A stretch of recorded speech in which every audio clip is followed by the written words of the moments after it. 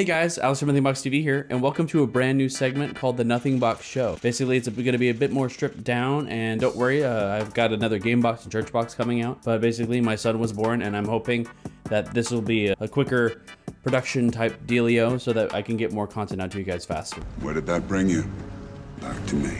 So I hope you guys enjoy the new show. So this episode's gonna be about game preservation, which was inspired by Jirard the Completionist's eShop mass purchase, basically of every game and DLC on the Nintendo eShop on the 3DS and the Wii U. And I had this thought to myself, why don't console manufacturers kind of just jump on the emulation bandwagon and make profit from it. Now keep in mind, everything that I'm going to say is with a grain of salt. I am fully aware that these developers are not going to do anything with this. This is just a pipe dream. I know it's not going to happen. This is just me saying like, I will give these companies money if they do this. So with Jirard's video specifically, I was wondering like, why are companies always okay with letting the past go? Like the answer's already there. They, they want you to buy the new thing. They don't care about the old thing anymore because it doesn't make them as much money or no money at all. However, a lot of games are going to be like lost to the winds of time because these companies don't care about preservation. What's funny though is that their archives are still most likely sitting somewhere on a database or a server. So it's like they're just holding on to it. And there's nothing we can really do about it except for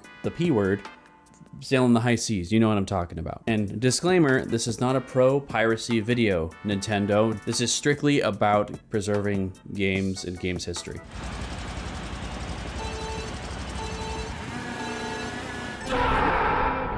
The Fitness Gram Pacer test. So here's my proposal, and don't worry, I'm already aware of sites like GOG and other types of preservation type stuff on PC and even some consoles. This is more of me saying, oh, hey companies, if you wanted to capitalize on this, people will avoid the P word to start purchasing old stuff again.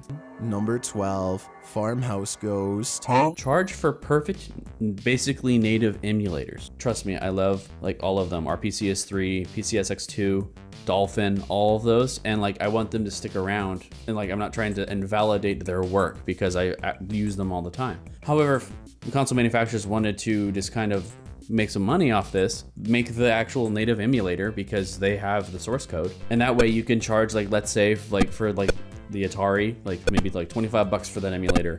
And you can natively run all of the classic games from like Pong to, I don't, ET, don't play that game. And maybe for something more recent like the PlayStation 4, maybe charge upwards of like $200 for that. And then we can finally play Bloodborne on PC. I really want to play Bloodborne. So that's my general idea for the console side of things. And I know that some games are still kind of get sold today that are on on storefronts and sometimes old games get put on the Nintendo the Switch store. Or I know that there's like a bunch of licensing issues and that's why games generally get delisted. However, what if down the road, once a game is kind of like licensed out, maybe if it's not impossible, I'm fully aware that there's more to this than just like, oh, removing a soundtrack and stuff like that. This is more just in concept. Maybe make a website with some games that are license free or like the publisher owns every single asset in that new patched version of the game. So for example, like Forza, that's just recently in my head because I've been playing the new very, very mid expansion.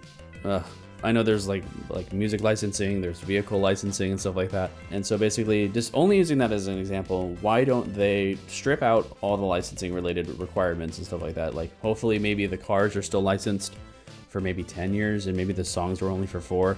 We don't know any of that. That's just that's this is just me speculating and using it as, as, an example. But there's so many other games that I think that just need like a quick little patch that can kind of be repurchased and why not put that on a storefront so that way more console games that are vintage can at least still have a, a, like a legal way of enjoying them. So that brings me to why are companies being so forceful on being anti-piracy for things that they're probably never going to sell ever again? And I get it, like copyright law, I totally understand. You you made something, you own that, you don't want it being distributed for free. I totally get it. This is more me saying, hey, if you want to continue making money on it, why not make it repurchasable? But all of this boils down to that, like how I said earlier, they want you to buy the new thing. They don't they don't care about the old thing if it doesn't make them any money. I get it from a from a business standpoint. I, I, I understand it.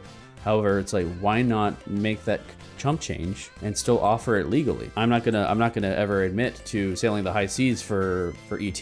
However, if I wanted to buy ET, I would like to buy it. I cannot and I'm like, I know ET is a terrible example. It's like literally what caused basically the video game crash. Instead of punishing us for wanting to play classic games that are not available on other platforms, why not just either let it go or let us buy it? So basically with my pipe dream that I know is not gonna happen, maybe just consider emulation as a profitable business venture. Many people, like myself, would love to continue supporting these classic games, even if it means purchasing them multiple times or one final time on PC after purchasing the Nintendo GameCube emulator from Nintendo themselves for $100. So that way with Nintendo or PlayStation, if they know that they don't have any interest in reselling a certain game because of licensing or anything like that, maybe if it's just like a quick quick fix to just remove whatever was licensed that no longer could be sold as the package. Just like offer it for 10 20 bucks. Like like a stripped down version. I don't care if like, if it's missing certain content. I don't care if it's missing i don't care if skate 3 is missing the dr pepper billboards.